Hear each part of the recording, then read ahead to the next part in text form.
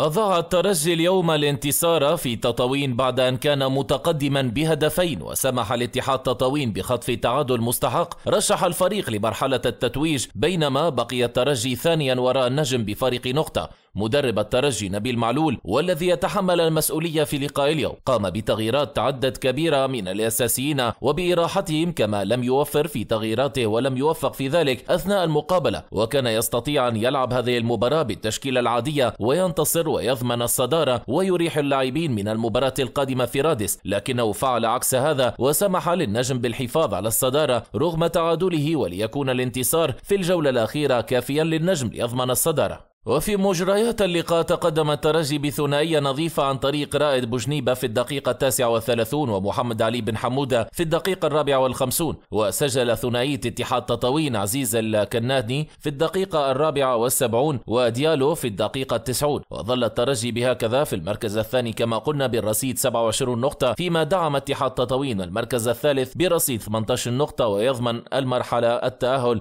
لل play off هذا وفي خبر آخر اللاعب المعتزل من صفوف الترجي سامح الدربالي سيسجل العودة في الأيام المقبلة ولكن بصفة مرافق لفريق أكابر كرة القدم وباعتبار أن هذه الخطة شاغرة حاليا بنادي باب سويقة. الدربالي من مواليد 23 نوفمبر 1986 تقمص لاعب أزياء الأولمبي الباجي وأهل طرابلس الليبي وتوج مع الأحمر والأصفر بتسع بطولات وأربع كؤوس وكأس السوبر المحلي وثلاث كؤوس رابطة الأبطال الإفريقية ودوري الأبطال العرب كما خاض بقميص الترجي 261 لقاء سجل خلالها ثمانية أهداف وأسهم في صناعة 28 أخرى. أما مع المنتخب الوطني فرصيده من اللقاءات الدولية 11